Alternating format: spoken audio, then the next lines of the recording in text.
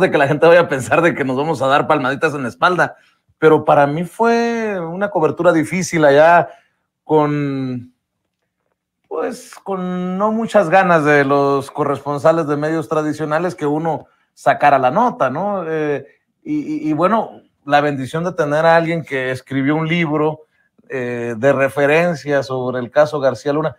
Yo quedé muy complacido como director de, de este espacio sin censura pero ¿cómo, cómo, qué, reacción viste? Yo, hasta la fecha recibo eh, comentarios, oye, que con ustedes vi, escuché Paco, el análisis, Jaime Hernández. Creo que no nos fue tan mal para ser un medio, dirían los que nos critican, eh, de dudosa reputación. mira, cuando lo dicen ellos, entonces yo digo, vamos bien. vamos, vamos bien. Este, no, mira, yo, tienes tu razón, uno no debe hablar de uno mismo porque es Vituperio. Es vituperio. Pero uno puede pararse afuera y ver lo que pasó. Yo veo las otras coberturas, las seguí, finalmente somos periodistas, hay que estar pendientes lo que dice la oposición, lo que dicen los, lo que, lo, que dice la competencia. Yo digo, al margen de todo y sin falsas modestias que no debe haber, yo digo que hicimos la mejor cobertura sobre García Luna, estuviste allá, estuvimos aquí, hicimos análisis. Jaime es un analista, pero conoce Estados Unidos, conoce el movimiento de la Corte como la palma de su mano. Por cierto, le vamos a mandarle un, saludo, porque eh, Jaime dio un mal paso y se nos cayó. Y mi querido Jaime ya eh, se sometió a una cirugía, lo visité en el hospital, te manda saludos y bueno, pues ojalá. No, mira, le mandamos un saludo, pero además, deja decirte, Jaime y yo somos contemporáneos. Eh, fuimos por caminos paralelos hasta que nos encontramos en Sin Censura. Y para mí Jaime es una grata revelación, porque además aprendí muchas cosas de él. Sí, este, yo tengo algo que digo, si, si encuentro a alguien que voy a aprender sin censura, bueno, pues yo no digo nada porque tú ya sabes cómo llegué a sin censura y este... ¿Cómo llegaste? ¿Te recuerdas que un día, este, no sé quién te envió mi libro y me llamaste?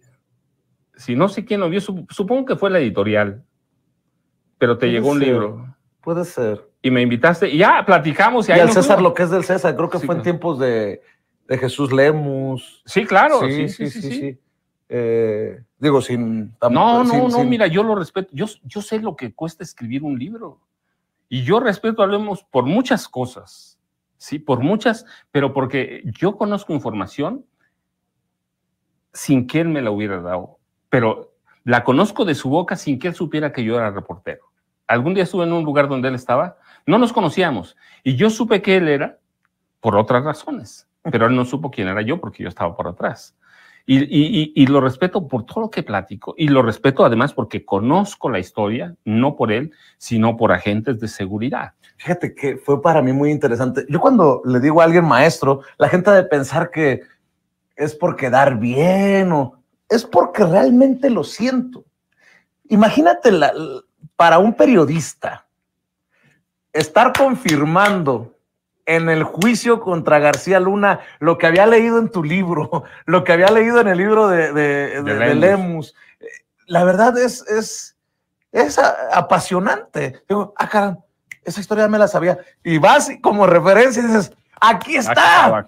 Para mí fue una fortuna y algo indescriptible que, nunca había compartido con la gente, eso de estar eh, buscando en el libro básicamente lo, que dijo el grande, el rey, Todo estaba los episodios. Todo estaba ahí, pero además, eh, bueno, en ese contexto, yo digo que hicimos, ah, sin falsas modestias, hicimos la mejor cobertura sobre García Luna que se dio en ese momento. Y yo digo que ahora, con Alejandra del Moral, hemos hecho desde mayo, porque lo tengo registrado, desde mayo de 2022, cuando me dijiste, recuerdo la pregunta y me dijiste, pero oye, ¿y el diputado del PAN? Sí, Enrique Vargas del Villar, y yo te dije, ¿el diputado del Villar? No, hombre, lo se lo van a comer, pero inmediato. Sí, la candidata, porque lo sé desde febrero de 2022, la candidata va a ser Alejandra del Moral Vela. Y yo digo que hemos hecho una cobertura muy decente, puede faltar, pero hemos hecho una cobertura, lo seguimos a todos. Eh, hacemos análisis y estamos pendientes de lo que están haciendo. Entonces, estamos haciendo una cobertura muy completa del Estado de México. Tenemos la historia, esa es la ventaja. Tenemos toda la historia del grupo, del, del grupo Atlacomulco desde 1942. Bueno, la tenemos antes, pero desde 42 cuando nace como tal. Entonces, lo de García Luna, yo, yo lo veo por afuera y todavía lo, lo, lo, veo porque eh, tengo esperanza de eventualmente, no el año próximo, porque tengo compromiso para ya para 2024, tengo un compromiso de un libro, tú sabes, este...